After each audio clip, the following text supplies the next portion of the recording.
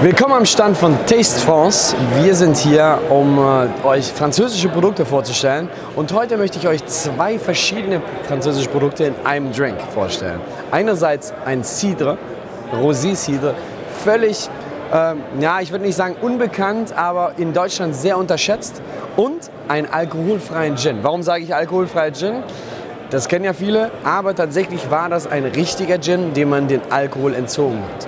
Jetzt ist es natürlich ganz schön komisch, einen alkoholfreien Gin, also eine alkoholfreie, äh, ein alkoholfreies Produkt mit einem alkoholischen Produkt zu mischen. Und ihr fragt euch vielleicht, warum macht man sowas? Naja, ganz einfach.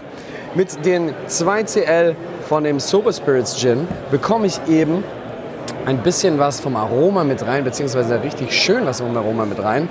Dann gebe ich von dem hervorragenden Rosé Cider was dazu.